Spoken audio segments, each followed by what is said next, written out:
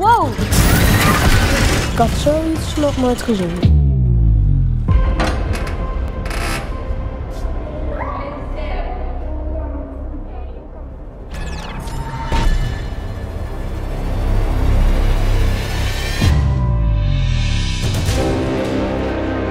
We gingen geblinddoekt naar binnen. En er stonden er twee krukjes, tafeltjes voor en er stond allemaal speelgoed op. Nou, ik kan die 1,19 maar pakken.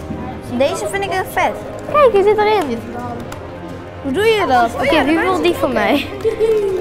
Oh, wacht, ik waarschuwen. En iedereen grijpte bijna gelijk naar zo'n vliegtuig en ging helemaal gelijk bouwen. Van nee, die wil ik, die past beter bij die van mij dan. Ik deze. Leuk.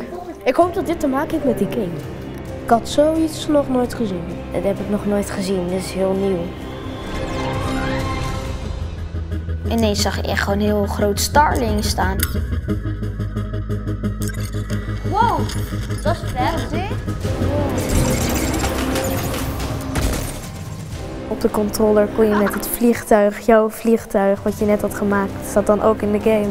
Het was gewoon zo gaaf. Het vliegtuig wat je zelf hebt gebouwd, gewoon echt in het spel te zien. Het ziet er ook best wel echt uit.